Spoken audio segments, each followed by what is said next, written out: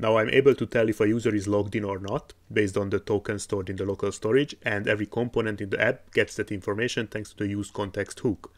What's still missing is how to put this token to the local storage once a user logs in and how to determine which routes the user has access to.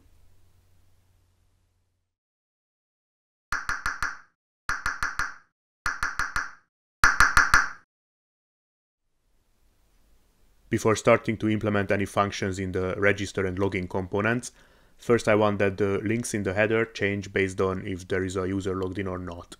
If the user is not logged in, I want to see register and login links, otherwise profile and logout. And to do that, I can use conditional rendering with the help of the so-called ternary operator. The condition for that will be if there is a user object in the user data state, which is the global state I defined in the app.js in the last video. I go to the header.js because that's where I display these links. And to get access to the user data, I need to import use context from React, user context from the app.js, like I did before, and define user data by the user context state. Then I can use user data.user as a condition. If it has a value, then this first block will be rendered, otherwise the second one. I cut this nav tag block with the MLAuto class and paste it to both cases the second one can stay like that, but as for the first one, the one with logged in user, I changed the routes and the labels to profile and logout. Although the logout route here will be the root route for now. And now in the browser I get the error saying user data is undefined and that's because in the app.js I forgot to wrap the header inside of the context provider so the header component didn't get access to the user data. So I put it inside of the provider as well. And if I go to the browser, since I still have a valid token in the local storage left from the previous episode, I will see the profile and logout links in the header. But when I open the developer tools, go to application, local storage and delete the token value. Refresh the page, then I will see register and login instead. And put it back again, refresh, and profile and logout, they come back.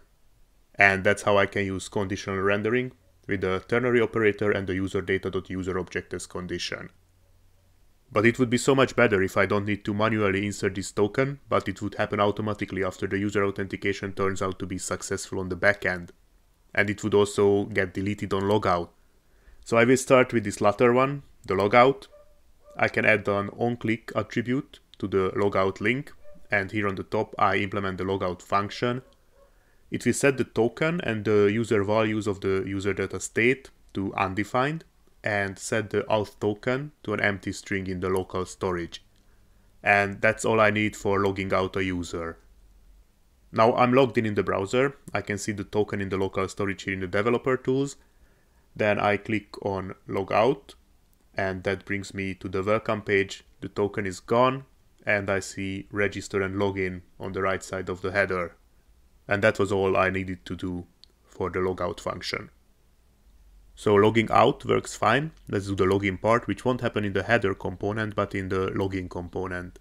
Here in the login.js, I still have the post request commented out. I bring it back. And as for the users, the endpoint will be slash API slash users slash login. The data will be new user, and I will make this handle submit function to an asynchronous one.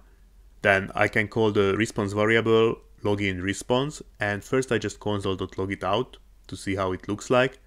And classic mistake is forgetting to import Axios when making an HTTP request to the backend. So I do it here.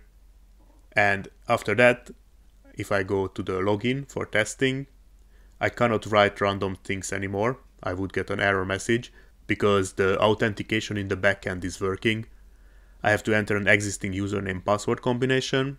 So I try Adam and first, and I can see the user data in the terminal, which came now as the server's response.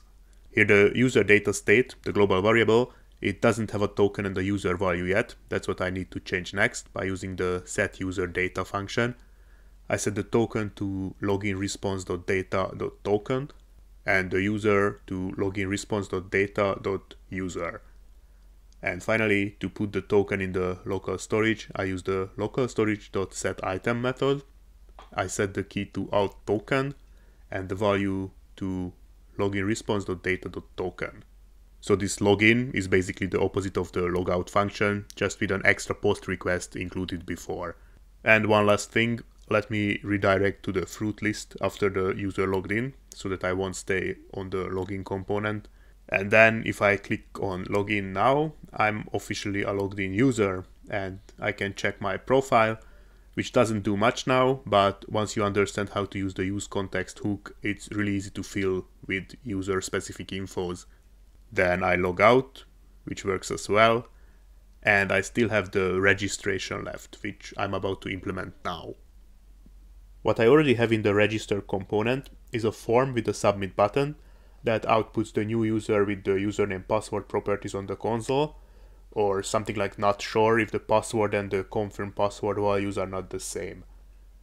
I make the first changes based on what I have in the login component, by which I mean importing use state, importing use context, importing user context, and importing Axios.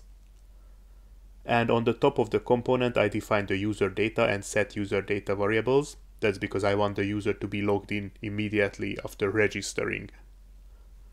Before making the post request to the register endpoint, I make this function asynchronous as well. And then after the password check, I do await axios.post to the slash API slash user slash register endpoint and the data I'm sending will be the new user object.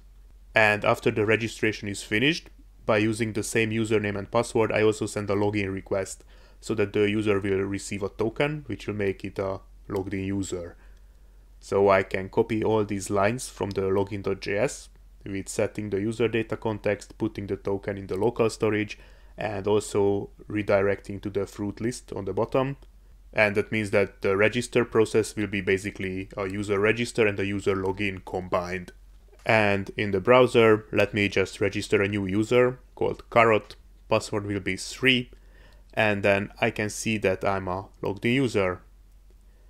And I still want this profile component to be able to show my user details. So that's what I can do next. Before actually starting to work on the profile, I want the username being displayed in parentheses in the header right next to the profile. Since I already stored the user data in the header, I don't need to change much for that. Simply put the user data.user.name in curly braces after the profile label. Now if I refresh the browser, where I'm still logged in as Carrot, I can see Carrot in parentheses next to the profile.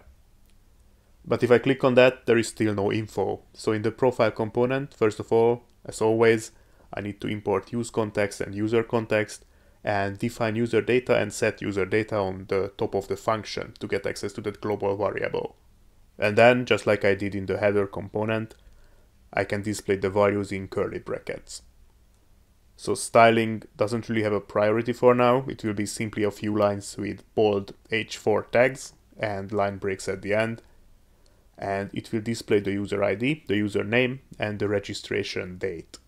And after this, I think we could consider the user authentication and authorization mechanism kind of done. The basics are working fine. Registering, logging in, checking the profile, logging out. Actually, one last change. Let me redirect to the login page after logging out.